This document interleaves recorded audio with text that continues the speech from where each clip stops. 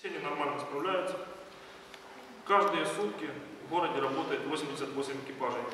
44 экипажа работает в дневную смену, 44 экипажа работает в ночную смену. Всех, согласно закону Украины полиции, обеспечили одностроем, спецсредствами, камерами, огнестрельным оружием. Э, Значит, в городе нашем есть 4 района. Следственно, э, вся патрульная полиция, весь состав делится на 4 батальона. В каждом батальоне есть 4 роты. Когда заступает батальон на службу, службу несут по батальону, в каждый район заступает рота. Когда меняет батальон батальон, следственно, рота меняет роту.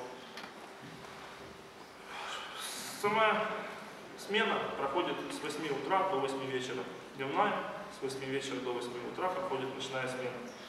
График э, работы, первую смену мы работаем в день, вторую смену мы работаем в ночь, две, два дня мы отдыхаем. То есть такой график. Но в день выходного у нас постоянно проходят какие-то учения, постоянно занимаемся тактикой, э, постоянно пытаемся самоусовершенствоваться, так как сами знаете, что времени на обучение у нас было немного.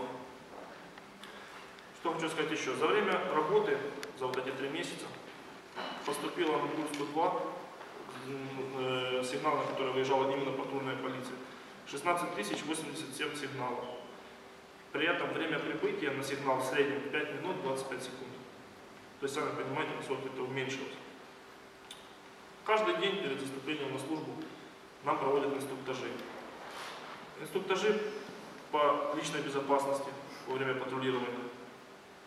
Э, Как обращаться с огнестрельным оружием, правилам дорожного движения. Все это каждый день повторяют, учат. Хочу сказать, что э, за время нашей работы было составлено 6188 административных материалов. С них такие, как статья 130, это управление транспортным средством в состоянии алкогольного или наркотического опьянения, 362 протокола. 446 протоколов это по мелким ДТП, дорожно-транспортным происшествиям, это дорожно-транспортные происшествия, в которых нет пострадавших. Это материалы, которые оформлены, оформлялись именно патрульными полицейскими. Э, Потом начато следственным отделом, э, начато 113 э, производств, в которых сами преступники, подозреваемые лица, это лица, которых задержали непосредственно патрульные полицейские.